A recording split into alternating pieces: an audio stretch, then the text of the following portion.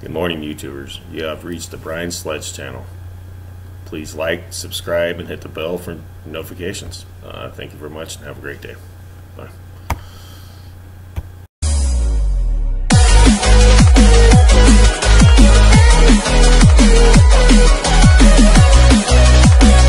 Crazy Maxine Waters headed to serve hard time after doubling down on Trump death wish. In the world of politics, everything you do and say is closely watched and criticized.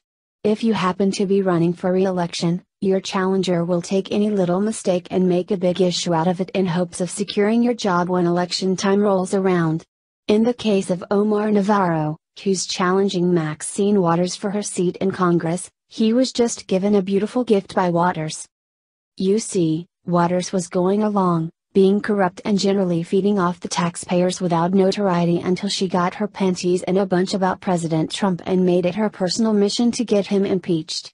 It is her job to do what she thinks is best for the people of this great nation, however, Waters is taking this crusade to a whole new, and illegal, level. Instead of vowing to just impeach the president, the 70 something, 30 year veteran of Congress took the time in a recent speech to promise that she would take Trump out tonight. Freedom Daily reported on her statements, just hours after she made them, including this video. As you can see, she's clearly making substantial threats against the President of the United States, and for some reason feels she can't get away with that. Unfortunately for her, someone is gunning for her job, and according to the Epoch Times, he's looking not only take her seat in Congress but her freedom as well. Representative Maxine Waters, Democrat California, is under fire for a recent viral video which shows her making threats against President Donald Trump, and one of her political opponents is calling for her arrest over the statements. In a speech Waters gave at an October 13 event in New York City, she states, with this kind of inspiration, I will go and take Trump out tonight. The video of her speech was initially pulled offline by YouTube, but has since been reposted numerous times and has recently gone viral.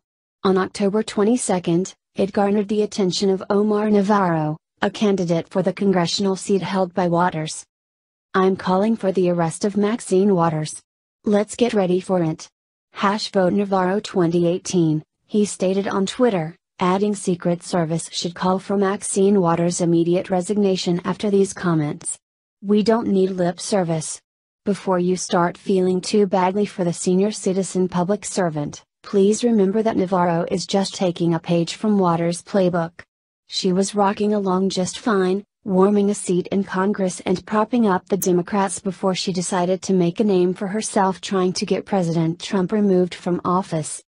Her opponent isn't the only one that finds these kinds of comments unacceptable. There's no good ending to a country that lets its president be physically threatened by someone who disagrees with him politically. These liberals are acting as if the president is somehow threatening our way of life by enforcing the laws that Congress has already passed. The chairwoman of the Republican National Committee weighed in on Twitter calling Waters' statements unacceptable. Democrat leadership should denounce any suggested violence against the president. This might be her worst breach of ethics, but it's certainly not her first. Waters has retained her job in Washington for the past 30 years, and in that time she has done some serious damage to the taxpayers' pockets and her own reputation. It's practically the Hill's worst kept secret that Maxine Waters is as corrupt as the day is long. Here's more from our source about Waters' sordid and sullied reputation in Washington. She was named four times by liberal watchdog group Citizens for Responsibility and Ethics in Washington, CREW, in 2005, 2006, 2009, and 2011 as one of the most corrupt members of Congress. An eight page Crew report lists her numerous cases of misconduct and the investigations into her actions. Among the cases, she allegedly used her position as a senior member of Congress and member of the House Financial Services Committee to prevail upon Treasury officials to meet with One United Bank, says Crew. Judicial Watch, a conservative nonpartisan watchdog group, referred to Waters in December 10, 2012, as a famously corrupt, and seemingly untouchable, congresswoman renowned for abusing her power to enrich family members, and criticized her rise to become a ranking member of the House Financial Services Committee. It notes that Waters helped family members make more than $1 million through business ventures with companies and causes that she has helped, and was also investigated by the House Ethics Committee for steering $12 million in federal bailout funds to a failing Massachusetts bank that she and her husband, a board member, held shares in. It adds that Waters has also come under fire for skirting federal elections rules with a shady fundraising gimmick that allows her to receive unlimited amounts of donations from certain contributors, and for making hundreds of thousands of dollars in short periods of time by selling her endorsement to other politicians and political causes. In a July segment, Tucker Carlson of Fox News noted that Maxine Waters lives in a 6,000 square foot, $4.3 million mansion in one of the wealthiest neighborhoods in Los Angeles.